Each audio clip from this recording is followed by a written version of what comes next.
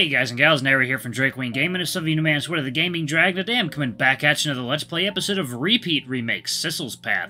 So y'all, without further ado, let's go ahead and jump right back into it, shall we? Alarm Chan, you were up, and let's go! Yeah, we're doing that really creepy scene with the remnant. Yeah, weirdly nice to Sissel. It's weird. Anyway, follow me. Wait! Okay. Sissel gaped and watched as the creature limped quietly down the forest trail and disappeared. Something told him that he shouldn't follow strange creatures into strange places.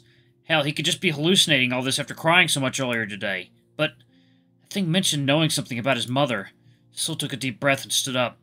He knew Bradley Woods like the back of his hand anyway. What's the harm in taking a look? Thing that called itself the Remnant. It's a depressing name, though, so just call me Remy or something led him to a familiar sight in the woods. The creature beckoned him excitedly before ducking into the ruined cabin, the ruined cabin's low door frame. Sissel followed it with a doubtful frown. He's lived in this broken down cabin for most of his life and was familiar with almost everything in here. What was this Remy trying to show him? It began digging around in a dark corner of the cluttered room like a dog scavenging for a treat. Bits of rotting wood were flung in the air. Sissel flicked away a wood chip stuck in his fur before peering over Remy's shoulder caught curiously. The creature suddenly gurgled triumphantly through a mouthful of wood. Aha! Here we are! Sissel was startled to see Remy standing up with a scratched up VHS tape in its mouth. It grinned at him before dropping into its hand into its hands. Dropping it into his hands. Sissel wrinkled his nose at the spit covered tape and wiped it on his pant leg. Oh. That's cool art. What hmm. What is this supposed to be? Do you not know what a VHS is? Man, kids these days. Sissel held the smelly tape at arm's length and scowled. I didn't exactly grow up in a technology filled household. Am I supposed to stick it in a TV or something? The creature nodded its head almost as if to say, Well, duh. I thought this whole thing works anymore, and where would I even find a VHS player around here? All the tech junk in this cabin is broken to hell and back anyway. Remy laughed and tapped its legs on the wooden floor excitedly. That's not the problem. Sissel gaped in astonishment. The aged surface of the tape shifted and renewed itself, right under his fingertips. The pieces of the smashed-up television set on the cottage floor scuttled together like ants returning to a colony. Shards of plastic and metal slid into place and formed what looked like a brand new TV. Sissel ran his hands across its surface, mesmerized. Wow! You can make you can make things like new again. This old thing's been lying in the corner for years. Kind of weird seeing it in one piece. The remnant tapped the TV with its chin, and, old, and the old static screen flickered to life. Play that tape. You'll find what you are truly looking for in its contents. Sissel hesitated, feeling rather apprehensive. What was he looking for? The tape in his hand suddenly felt very frightening. But then again, what did he have to lose? Herschel already hated him for his fuck-up, and he was back in his this muggy old cottage. Sissel took a deep breath before inserting the tape into the VHS set and pressed the play button. The screen started and shook as gears in the television clicked into place and groaned to life. Sissel stared intently as the static rolled by, trying to make out something in the mess of shapes. I'm not working. His ears perked up at the sounds of a young but familiar voice. Is this thing working? Thump! Herschel, don't hit it! You're gonna break the darn thing! Static of the screen suddenly cleared itself, followed by a triumphant shout. Aha! I got it to work, though, didn't I? Tis all fine. Oh. oh. Smile for the camera, sis. Got any memorable words uh, as a brand new mom? Cecilia Bradley stared awkwardly into the camera while busying herself with a small baby in her arms. She looked fatigued but happy as she gently rocked her arms in a, sooth in a soothing rhythm. Look, it's a baby. I made it myself. Herschel snorted as he zoomed in on the baby's face. He cooed softly as the baby sniffled quietly at his, quietly at his at the noise. Second, y'all. It is water time. Okay. He cooed softly as the baby sniffled at the noise. He's so cute! How did an ugly old lady like you make such an adorable kid? I'm gorgeous, thank you very much, and so is my kid. He obviously gets all his good traits from me. After all, his father... Cecilia was abruptly silent, her shoulders sinking into a tired slump. Herschel lowered the camera slightly and reached over to pat her back. Hey, sis, you alright? I know you're still going through some shit. That asshole dumped you at the worst possible time. Oh. The baby suddenly let out a small squeak and reached his tiny hands to hold Cecilia's finger, as if to comfort her. His hands looked ridiculously tiny in comparison. Cecilia's eyes softened as she brushed her baby's head softly before kissing him on the nose. Aw, aren't you the sweetest little thing? She looked up to Herschel with a soft, bittersweet smile. He's so precious, isn't he? Her voice cracked for a moment and she closed her eyes tightly. Herschel, I'm scared. Hmm? Scared of what? Of this. Of being a mom. You know how our parents were. I don't even know how a real mom is supposed to act. What if I mess this up? This little guy deserves better than what we got. The room was silent for a long minute. Cecilia lowered her gaze to, to the floor apprehensively. She looked so distraught, as though this had been plaguing her mind for a while. Herschel cleared his throat and hummed thoughtfully under his breath. Well, I don't know much about good moms, but you've been a real good sister. Herschel laughed awkwardly, and Cecilia couldn't help but smile a little as well. You pretty much single-handedly rescued me from that hell house and raised me into a decent, I think, person. I think you'll do fine with your with your own kid. And you care. I love him, and you care. You love him so much. I'm sure the little guy will be happy just to have you as a mommy. Cecilia gently brushed her baby's head, a little more reassured. Thanks, Hirsch. I'll probably mess up a few times, but I'll do my best to give him a better childhood than what we, than we ever had. It'll be a bumpy road, but I wouldn't trade this for anything. I'm going to do everything I can to raise him to be the happiest boy in the world. Oh. Little baby giggled in response and snuggled closely to his mom. There was determination in her eyes as she held him close and hummed contently into his ear. There was no doubt that she will do her child justice and probably spoil him silly. Herschel's chuckle broke through their quiet, happy moment. Can't believe I'm an uncle now. I'm starting to feel old. I sure hope he doesn't pick up any of your bad habits as he grows up. I can barely deal with one of you. I can barely deal with one of you. Uncle Herschel will be the funnest uncle he will ever have. And don't get ahead of yourself. You still haven't named the little guy yet. You've been procrastinating all that for months. Cecilia spluttered nervously. I'm not good with names. How do parents even decide what to call their kids? There are too many options. And you keep telling me my ideas are dumb. Stop trying to name your kid after cake, sis. I know you're a baker and all, but there's no way in hell I'm going to introduce my nephew as tiramisu. but... Or eclair, or Swiss, or sponge. Especially not fucking sponge. Cecilia mumbled begrudgingly to herself. It's a good cake. Your child is not a cake. Please, take this seriously. Cecilia paused, quiet for a few long moments as she gently brushed her child's hair. Her eyes suddenly lit up and she grinned.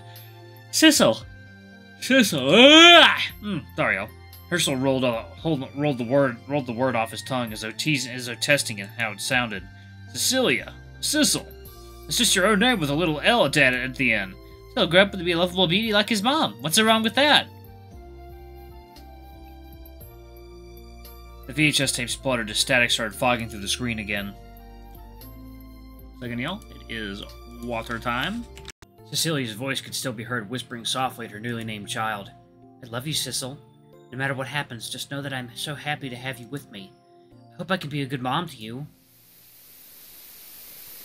The television powered down with a low whine as the video ended. The cottage was quiet and still. Sissel. Tears slowly fell from Sissel's cheeks and landed on his hands like handed lap like little raindrops. He sniffed, shoulders shaking as he tried to collect himself. Cecilia Bradley's warm voice still echoed in his head as he slowly wiped his eyes. I... I had a... mom. Sissel's heart lurched against his chest. All this time he thought his parents never cared for him. All those years he spent wandering the streets and feeling like unwanted trash. All this time, he had a mother who held him with such warmth and love? Mom. This felt like such a foreign word to him, but it was also something he desperately longed for. Sissel clutched his arms close to his chest and sobbed quietly to himself, alone in this abandoned cottage. Years of frustration, pain, and longing suddenly flooded out as he cried and cried and cried. Hmm. It took a while before he felt steady enough to stand up again. The sun was already falling low on the horizon when Sissel stepped outside the cabin's rotting doorframe. Remy followed him outside and glanced at him curiously.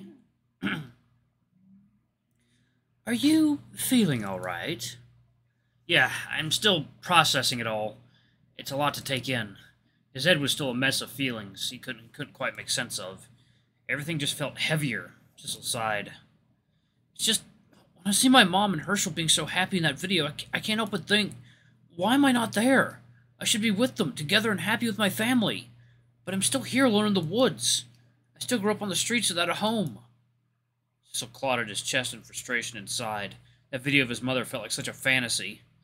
I wish I was there. Oh. I know where your mother is. Huh? I can take you to her. The remnant granite suddenly disappeared to the forest trail. Follow me. Wait up! This is this another ghostly life-changing discovery? Because I'm not sure if I'm ready. This will panics.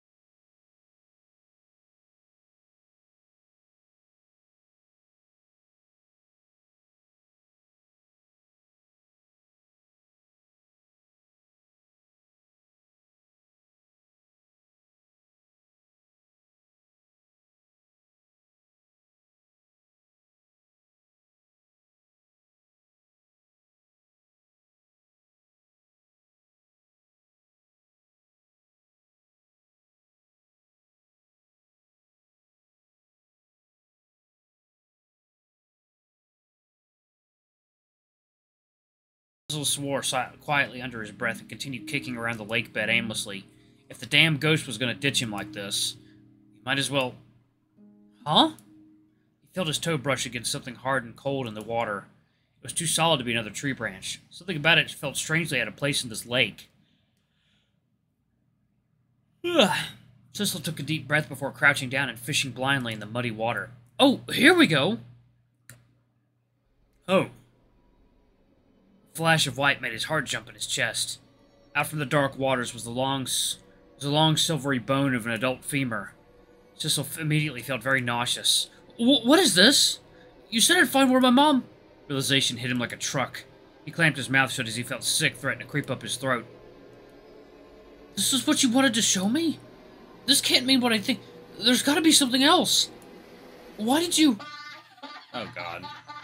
Yeah. The water suddenly erupted with dozens of dark, disembodied arms.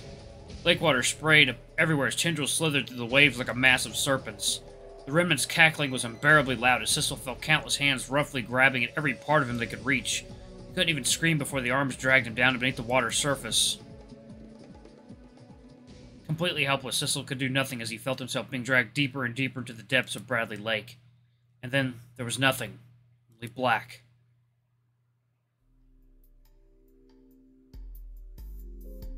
Skies were dark with gray as the rainstorm slowly grew overhead. The world felt like a blur as Ginny and as Ginny and I scrambled through Bradley Bradley Woods in a breathless rush.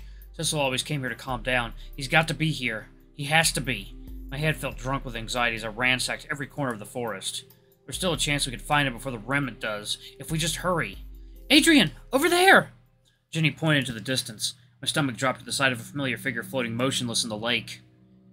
Ignoring Ginny's painful wheezing behind me, I made a mad dash towards it. My shoes were immediately soaked when I leaped into the water and desperately splashed my way to Sissel's prone, floating body. Panic was still coursing through my head as I pulled him over my shoulder and dragged him to the shore. Ginny was waiting for us there, panting and out of breath. He's not moving! What if... In spite of her exhausted state, Jenny held out her hand and forced composure. Stay calm. We can stay. We have to stay calm. Sounded more like she was speaking to herself than to me. Lay him down on his back on the shore. I know how to perform CPR. The, the basics, at least. In the meantime, get your phone and call for help. I closed my eyes, took a deep breath, and nodded. After gently settling Sissel into the sand, Jenny quickly leaned his Jenny, quickly leaned his head back to the clear his airway and pressed her face close, listening. Her face was grim. Her hands pressed around Sissel's cold neck and chest frantically before yeah, yeah, paid a sigh of relief. He's still alive, not breathing normally though. Chest compressions might she muttered to herself as she traced both hands into the correct spot over the sternum and positioned herself over Sissel's unconscious body. Jenny counted out loud as she pushed down on Sissel's chest rhythmically. At around the eighth or ninth compression, Sissel's body abruptly spasmed and he lurched forward, belching out lake water and gasping for breath. Ginny and I were immediately by his side, gently patting his back as he choked out more water. His breath slowly steadied. Sissel immediately, Sissel, Sissel's head eventually fell back onto the sand and looked slightly more relaxed. Alright, y'all, I'm going to go ahead and pause it right there. Thank y'all so much for watching. Don't forget to like, comment, subscribe, ring that notification bell. Leave a super thanks tip if you can. It always helps. Until the next video, I love you all. I'll see you next time. Bye-bye.